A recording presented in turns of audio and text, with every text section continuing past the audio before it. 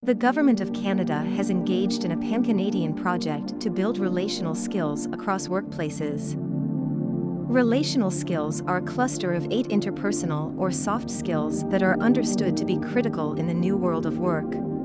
These skills enable us to leverage our hard skills and to work better together. Communication is one of eight relational skills.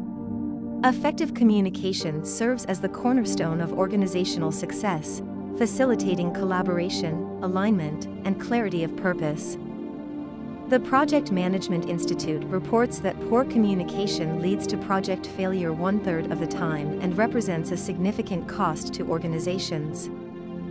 Furthermore, research by Gallup indicates that companies with engaged workforces experience 21% higher profitability due to effective communication practices. By investing in communication skills training, organizations can enhance employee engagement, customer satisfaction, and overall performance.